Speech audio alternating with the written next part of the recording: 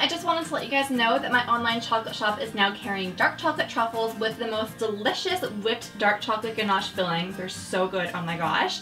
They're only available for a limited time and we do ship internationally, so if you would like a box, definitely check out the link in the description box down below.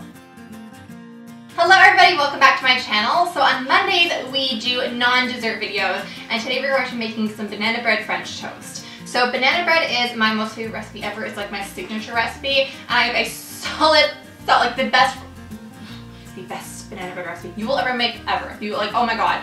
Um, I'll have it linked in the cards right here. Once you try it, you'll understand my really awkward enthusiasm, so just trust me on that. And it is topped with a delicious banana rum kind of like mixture sauce that just like, it adds so much to it. Oh my gosh, I'm so making this for my family the next time we have like a little brunch to get together.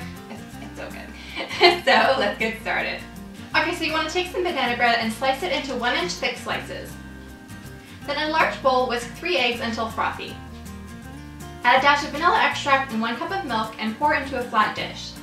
Then add the banana bread and soak it for about one minute on each side. Melt some butter in a large skillet over medium heat and then add the banana bread. That's Paddington if you're curious. Paddington! He actually loves banana bread. I was eating banana muffins a while ago and I stupidly left the wrapper on like my side table in my living room. And um, I went back to my living room after I left the room and two of the wrappers were gone. He ate the wrappers and um, now whenever I have banana bread, he like cries and cries and cries because he loves banana bread, which I don't blame him. It's really good recipe.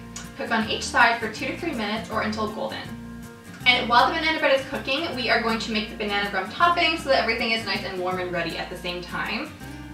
So melt a quarter cup of butter in a small pan over medium heat. Add and dissolve a quarter cup of brown sugar, and then add a quarter cup of rum and cook for three to four minutes. And so at this point, the banana bread should have finished cooking for two to three minutes on each side. And so now what you want to do is turn the heat off and place a lid on the pan and allow the banana bread to steam for about five minutes. And this is going to cook any residual egg Having residual uncooked egg on French toast is like my pet peeve. I think it's so gross. So steaming it is going to make the inside just so nice and fluffy and it's going to cook in the egg and you want people to taste the egg and it, just, it solves so many problems. And then back to the rum topping, you want to add some sliced bananas and cook until they're tender for about 3 to 5 minutes and then just set that sauce aside. Then place the French toast on your desired plate and top with some whipped cream and some banana rum, rum banana rum topping and you are done. So thank you so much for watching. I hope that you liked this recipe. Mother's Day is coming up and this would be a wonderful surprise to give your mom for Mother's Day or surprise her in like with breakfast in bed. Um, a fun fact, I didn't realize I didn't have rum when I was about to film. I'm like, oh my god. Um, I can get groceries delivered, but can I get alcohol delivered? Not in Canada, I don't think. So I was stuck, but I had whiskey, which I don't even drink. I don't even know why I had whiskey in my house. So I used whiskey instead and it did not taste as good. So just like, just to let you guys Anyways, yeah, thank you guys so much for watching. Um, if you haven't yet, please hit the subscribe button and ring the notification bell so you're notified when my next video goes live, which is tomorrow. We're going to be making something called smoothie cubes. I think it's so exciting. I'm making it today, actually, in like real time. Um, it's Sunday today, and um, oh, so excited. Anyways, yeah, I'll see you guys tomorrow. Bye!